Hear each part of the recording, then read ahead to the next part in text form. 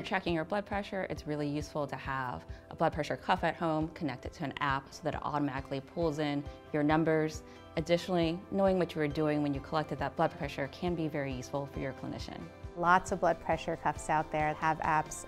As physicians and nurses, we love to see that data come directly into our system. Helps us prepare for our visit with you as well.